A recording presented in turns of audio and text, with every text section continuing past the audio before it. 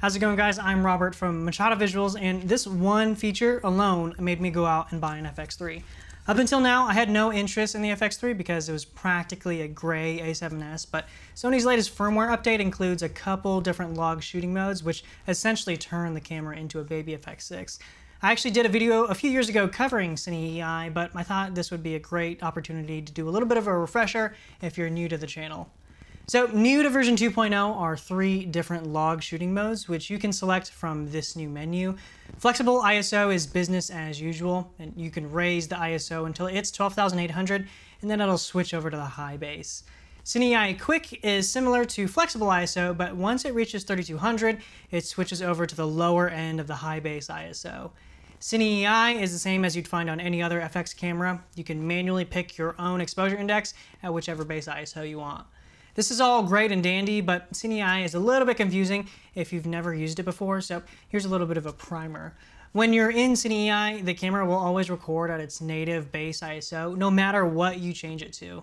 All the camera is doing is changing the monitor LUT to appear brighter or darker to sort of trick you into exposing for that given exposure index. For example, if I'm at a base ISO of 800 and I go all the way down to 200 EI, the image looks two stops darker on the monitor when I'm filming, but the actual recorded image is still at native 800, meaning that I have to manually push the image back down in post so that it looks similar to what it looked like on the monitor. So the big question is why? It's essentially optimizing your footage for post to maximize dynamic range. By always recording the native ISO, you're recording the cleanest possible image with an ideal allocation of highlights and shadows, and it forces you to think about your exposure choices and how rating the camera at a different exposure index affects your image.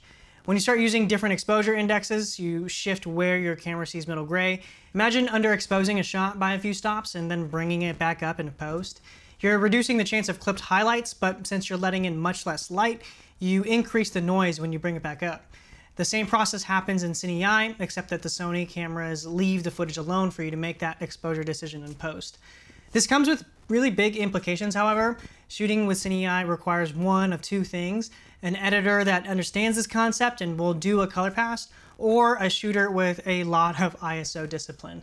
Nine times out of 10, when I'm handing over footage from a job, the editor just slaps on a generic Rec 709 LUT for the entire timeline. And if you're shooting with different exposure indexes all over the place, your footage is gonna look like shit, and you're gonna look like you don't know how to properly expose footage. That's why I usually refrain from touching my exposure index at all unless I'm handling the footage myself or if I'm just changing one or two shots. Sometimes I'll even generate a quick LUT for the editor to use if I rated the entire project at a specific EI.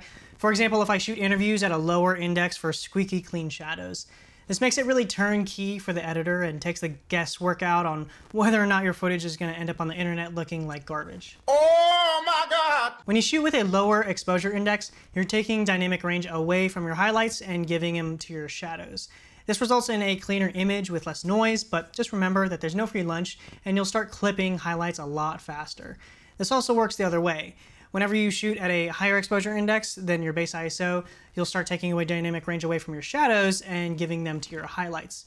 That's actually what the little number right after the EI indicates, which is how many stops above middle gray you'll be able to capture. At 800 EI, you can see that I have six stops of highlight latitude, while if I'm shooting at 320 EI, I lose about a stop and a third of highlight detail. This is actually how ISO works in all cameras. They just usually bake in the exposure index so that the recorded file reflects what it looks like on the monitor. It's kind of counterintuitive, but when you're in darker environments with a lot of shadows, you generally want to use a lower ISO, while if you're in a bright scenario with a lot of highlights, you want to use a higher ISO. All right, so what does this mean in practice? The reason I'm so excited over this feature is because I can't tell you how many times I've been stuck in a situation where ISO 640 was too dark but 12,800 was way too hot and usually forced me to close down by about two or three stops. There was never any in between, which is why this update has me pretty fired up now that we have way more flexibility with base ISOs. With the FX6 and FX9, if I were ever caught in a dark environment, my solution would be to switch to the higher base ISO and then write downwards for an even cleaner image at a higher EI. I never shoot higher than my base ISO unless I absolutely have to, since the image gets pretty ugly pretty quickly, and you might as well just use the higher base ISO since it's there. For my money, I'm probably gonna stick with Cine EI Quick because like I mentioned before, I'm always usually rating down and once you cross 3200 at the high base ISO, you're getting a super clean image, albeit with reduced highlights. You can see that when I switch over from 2500 to 3200, you have a much lower ceiling for highlight retention. It's also worth noting that you can burn in a selected LUT using traditional picture profiles, but your ISO will work like it normally did with your two bases at 640 and 12800. You can use Catalyst Browse to view your footage with the intended exposure index along with the embedded LUT, and from there you can copy your footage over to a drive or transcode to a new format. I usually only use this software to scrub through dailies without having to open an entire NLE, but every once in a blue moon I'll use some of these extra features. Hopefully this video is helpful in some way. It might take a minute to wrap your head around the concept of ISO and exposure indexes, but once you understand it, a lot of other things will start making sense. I've been really enjoying the FX3 since I've had it so far, and I'm always amazed at how powerful and nimble these small little tiny cameras are. There are a few other features included with the new firmware, like revamped overlays and timecode support, but I'll save that for a future video once I've spent more time with the camera. Shout out to Win Films for commenting on my last video and snagging a few of my stickers. Slide in my DMs and I'll be sure to send some out. If you want some for yourself, leave a comment down below with hashtag isthatared. And as always, thanks for watching, and I'll see you in the next one.